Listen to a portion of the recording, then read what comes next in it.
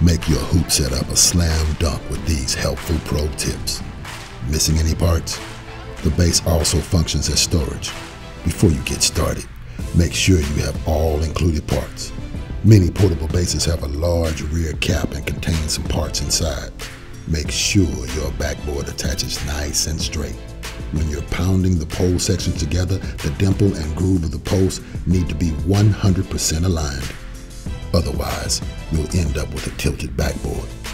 Skip the struggle when attaching heavy or large parts by using a table or the box for stability. For angle pole hoops, keep it on the floor when attaching the pole to the base. Before fastening board pads, score and remove the plastic film from the backboard. You may need to pre-drill holes in the frame before adding the board pads. When securing the elevator arms, tilt the board up to reach the top two arms. Set the lift to 10 feet when you're connecting the springs, so you can attach to the bolt without a hitch. You're ready to play. Spalding basketball hoops. Don't label it, just be it.